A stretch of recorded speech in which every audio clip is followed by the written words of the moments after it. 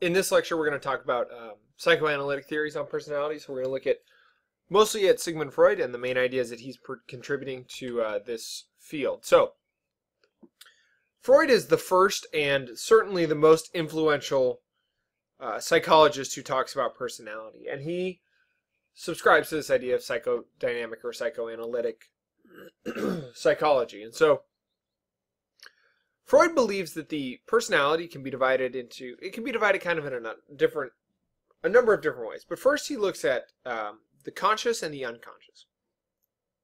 And Freud's a big believer in the unconscious, and uh, he argues that the unconscious the unconscious mind plays a major role in behavior, but thoughts in the unconscious, according to Freud, are not readily accessible. So we can't really uh, get to that information. So even though it plays a huge role, we can't get to it. It just kind of is sort of existing in the back. Um, he argues that this is where our motivation and drives come from, and uh, that it really pushes all that we do. And this is going to shape up to another uh, component of Freudian thinking in a little bit.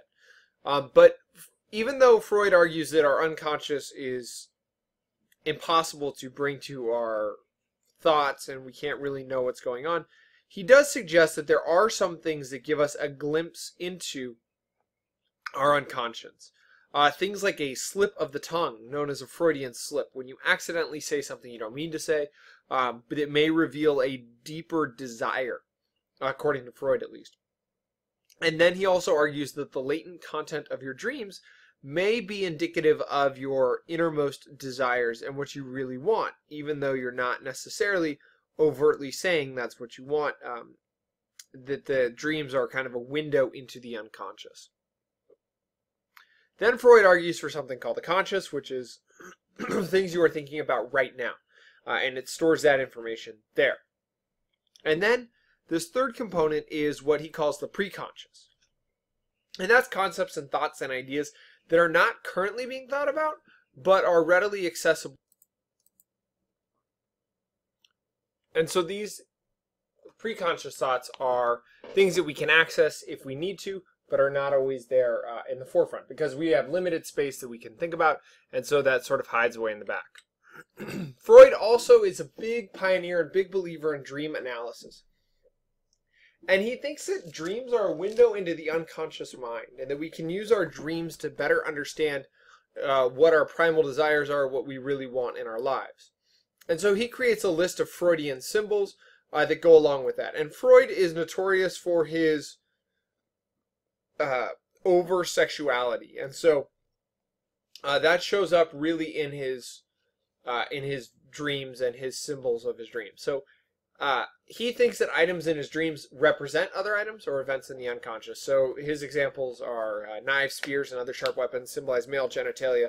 Uh, boxes, ships, and other vessels represent female genitalia. And so he argues that those are then representative of your innate desires in your unconscious. He then splits the mind into kind of three separate components the id, the ego, and the superego. And this is probably what Freud is most known for. Um, he argues that the id is the source of all your kind of energy and your drive. That is where your basic human needs uh, are stored and your basic human desires. And the id, he argues, operates on a pleasure principle, which is the idea that you want to maximize pleasure while minimizing pain. So everything that the id is striving to do is maximize pleasure.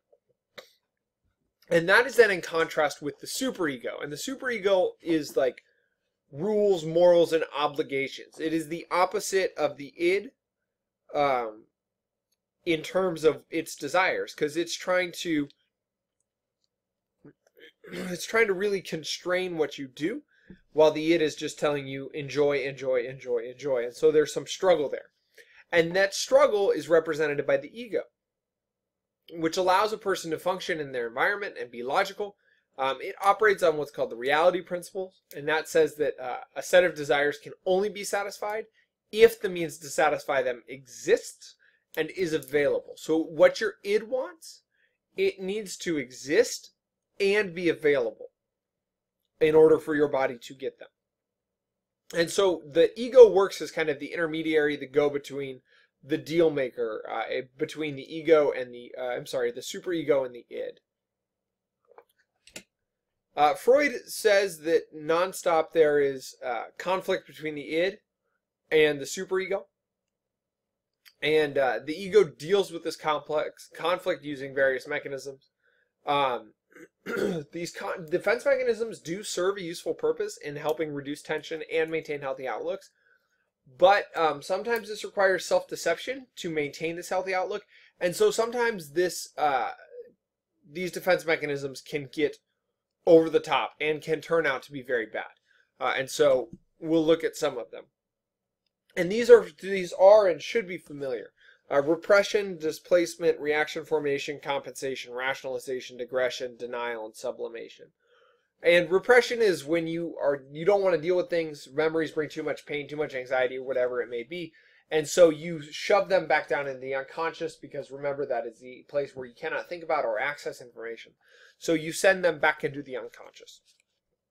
Displacement is when we direct our anger away from what we're really angry at and lash out at something else. Um, and so you'll see this often with people lashing out at friends when they're really angry at their parents or lashing out at a spouse when they're really mad at work or whatever it may be. The reaction formation is the ego doing, um, it's taking a desire that you have that is disturbing and redirecting it in a way that is more socially acceptable. So again, it's it's balancing between that id and that super ego. Uh, compensation is making up for failures in one area uh, by trying to be successful in another or focusing in on what you're good at. We've all seen rationalization. It's when we come up with excuses to justify behavior that is irrational or inappropriate it's trying to create logical excuses for our overly emotional um, or irrational behaviors. Regression involves reverting back to childish behavior. Denial is when we refuse to accept unwanted uh, beliefs or actions. We just refuse to acknowledge that something could be true. Uh, because if we can deny it, if we can deny its existence, then we'll be better off. And then sublimation is channeling or redirecting of feelings to more socially acceptable outlets. Uh, and so it's taking those desires that you have and pushing them in a way uh, that society will accept um, as not being too over the top. So Freud is followed up by Carl Jung, who argues that the mind has pairs of opposing forces, and uh, this conflict, uh, he follows in Freud's steps, arguing that there's conflict. And so he says each person has persona, um, and that is a mask that's put on for the outside world, what other people see. And then a shadow, which is the deep, passionate inner self, the true self, in many ways representing a lot of what the id is um, to Freud's thinking. He also argues for each side having an anima and an animus, female and male sides to the personality. And again, Jung is way ahead of his time in understanding that gender uh, spectrum idea. And then he says that all of these forces are balanced out by something he calls the self. So not the ego, but the self.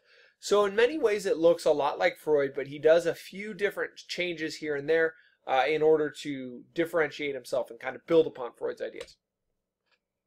And so Jung is most famous for uh, dividing the unconscious slightly different than Freud.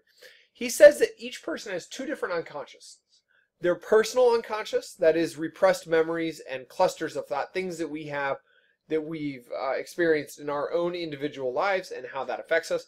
And then what he calls the collective unconscious, which is behavior and memory that's common to all humans, uh, passed down from our ancient ancestors. And he sees this through a lot of anthropology, a lot of different cultural things, that cultures paint things the same way, have common origin stories, have similar myths, and have different, uh, like similar ways of behaving. So what he says is that there is some collective unconscious that is uh, affects all of us.